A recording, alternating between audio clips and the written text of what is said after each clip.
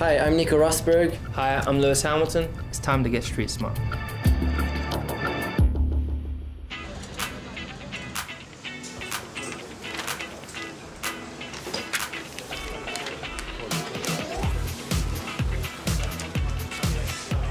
Try it out, you go first.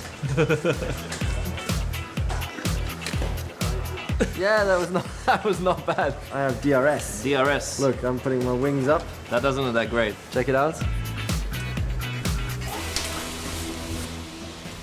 A paper plane, but uh, it actually tells us quite a bit about aerodynamics in Formula One, which is probably the single most important performance differentiator in the sport that the teams have control over. The aerodynamics of these cars borrows a lot from the aerospace industry, and as you can see on this paper plane, it has some little flap-like devices uh, towards the rear. And in fact, we have a very similar device on the Formula One car. At the rear of the car, on the rear wing, we have this flap, which is under the control of the driver.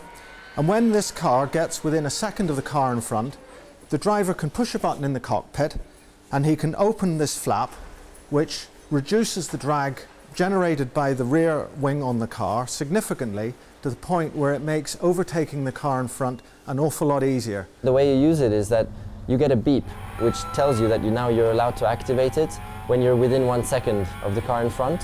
And so then you wait until you get to the white line. When you get to the white line, you can push the button that puts down your rear wing and gives you extra top speed to overtake the person in front. The DRS, when you engage it, it's like a boost. It's like pressing KERS. It's the same feeling as KERS. So when you press KERS, you get one boost, and then you press DRS, you get another one almost exactly the same. The issue of reducing drag on a Formula One car is very relevant to reducing drag on road cars to make them more fuel efficient. Equally, the aerodynamic stability of our cars has a direct relevance to the stability and safety of road cars. Can you, pretty can, much can you still see mine? Mine's gone so far I can't even see it anymore. Okay, my turn, my turn. Go for it.